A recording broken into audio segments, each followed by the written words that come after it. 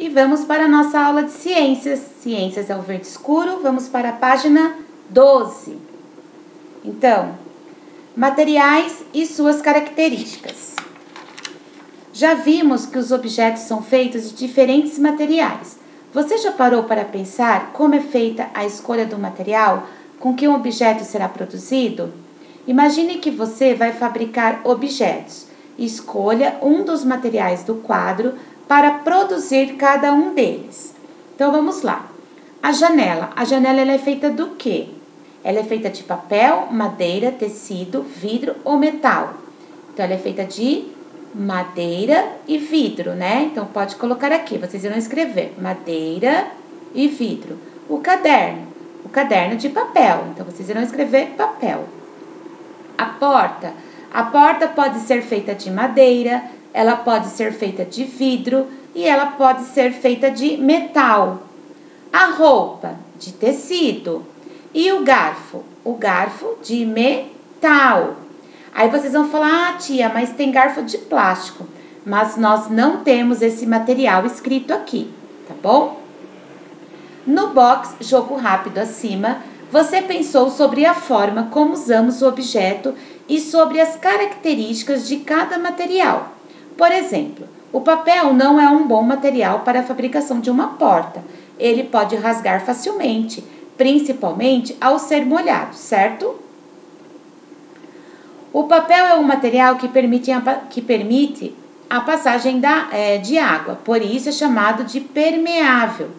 Para construir uma porta, precisamos de um material que não permita a passagem é, da água, ou seja, impermeável se a porta não fosse impermeável, as casas ficariam molhadas por dentro quando chovesse. Além disso, a porta precisa ser feita de um material duro é, e que não estrague facilmente, isto é, resistente. Então, permeável, ele permite a passagem do líquido, da água.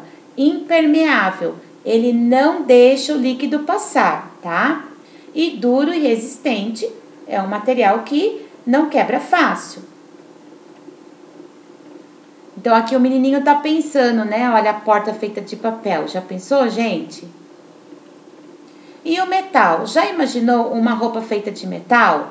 Ela seria pesada e dura. Nossas roupas costumam ser feitas de tecido, que é mole, macio e mais leve do que o metal.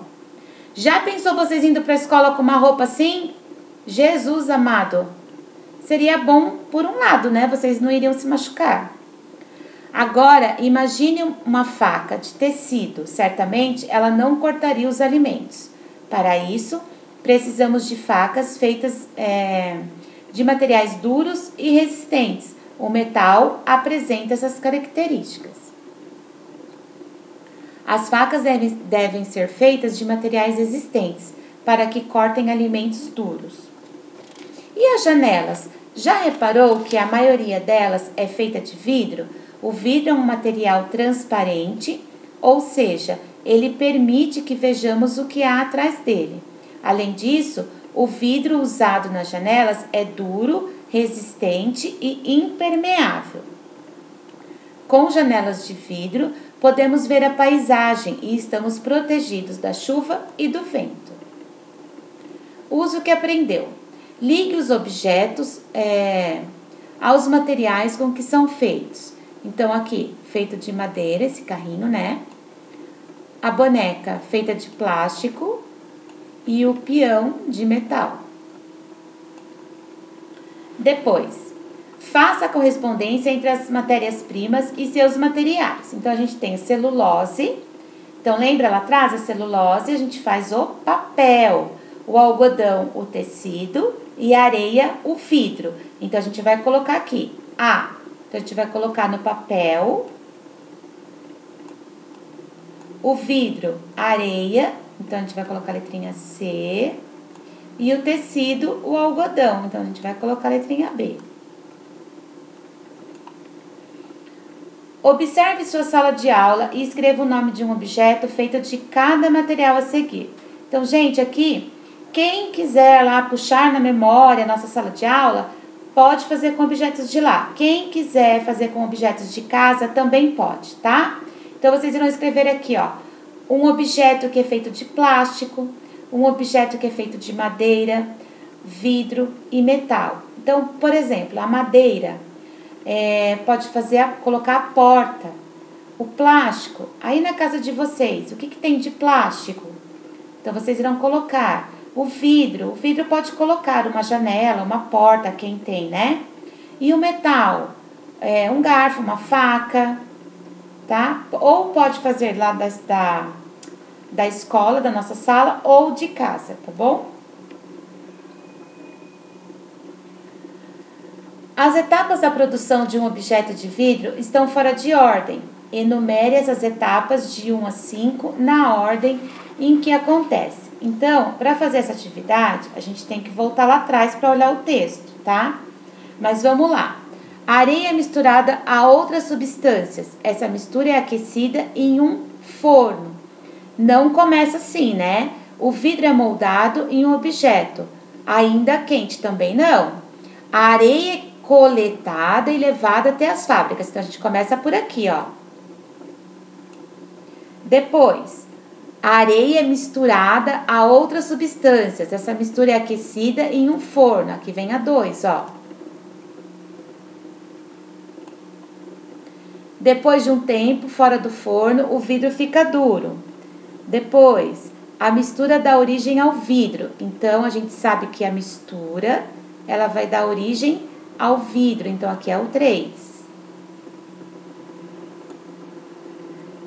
Aqui é o 4, que ele é moldado ainda quente e depois tem que deixar esfriar. E aqui é o 5. Então, vamos ver como ficou? areia é coletada e levada até as fábricas. A areia é misturada a outras substâncias. Essa mistura é aquecida em um forno. A mistura dá origem ao vidro, que, quando está bem quente, fica parecendo um líquido. O vidro é moldado em objeto, em um objeto ainda quente. Então, quando ele está aqui, ó, parecendo um líquido, é que ele é moldado no objeto. E depois de um tempo fora do forno, o vidro fica duro. Então, vai ficar 2, 4, 1, 5 e 3, tá? Preencha a cruzadinha com as palavras que é, completam as frases. Então, um material que não permite, não permite a passagem de água é. Ele não permite. É permeável ou impermeável? É impermeável, que não deixa passar, né? Então, vocês irão colocar aqui, ó. Imper...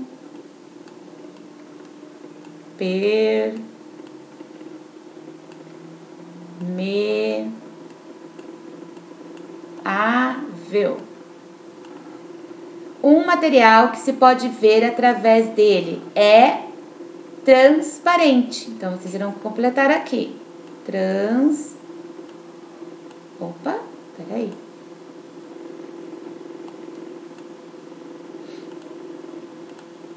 Transparente.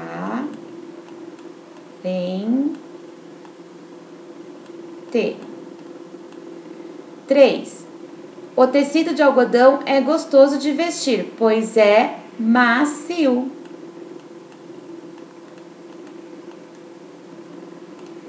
Um material que não estraga facilmente é resistente. Então, vocês vão colocar aqui. Resistente. E vamos ficar por aqui, tá bom? Então, ficou impermeável, transparente, macio e resistente. Beijo, até a próxima e caprichem aí, hein?